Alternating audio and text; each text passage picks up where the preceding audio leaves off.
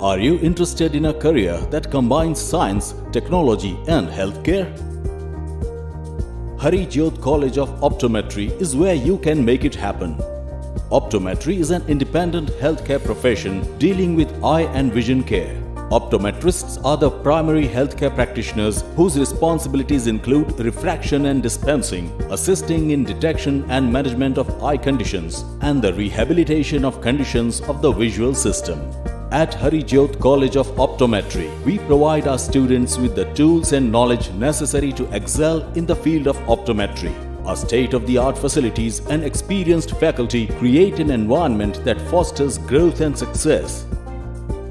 As Hari Jyot College is part of the leading Rotary Eye Institute, you will also have the opportunity to gain practical experience by working with patients in a real-world setting.